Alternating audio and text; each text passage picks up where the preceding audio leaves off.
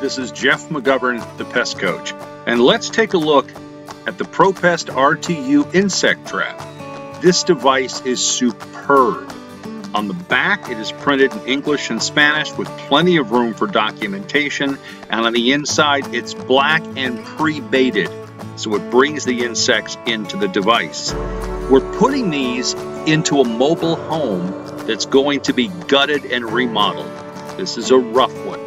There's a huge population of German cockroaches, and I visited the site with Chris Buckaloo from Anchor Services in north central Florida. And what we're doing here is a preliminary look because we had the client place some traps for us before we arrived at the site.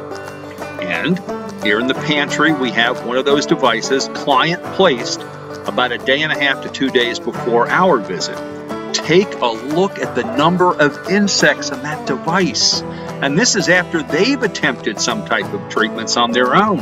Huge number of insects.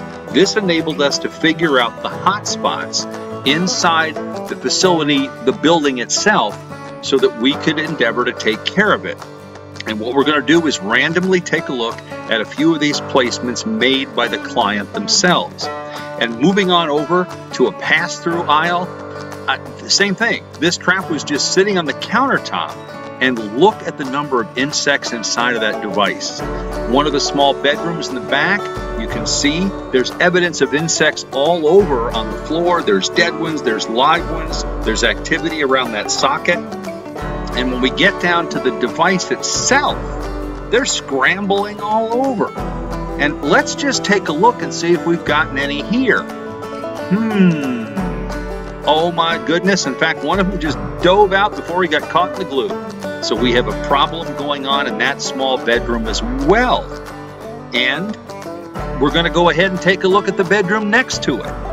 And this is just around the corner, down a little piece of a hallway, going into this area. Same situation is developing here. We've got that socket cover on the wall Sure enough, there's evidence of infestation. You can see once again the insects all over the place. There's one running for the cover right now.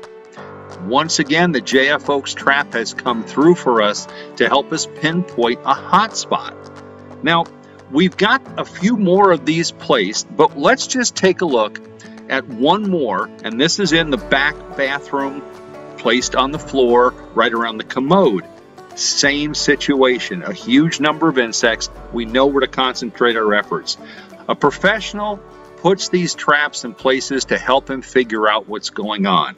The JF Oakes ProPest R2U cockroach trap belongs in the hands of every single PMP.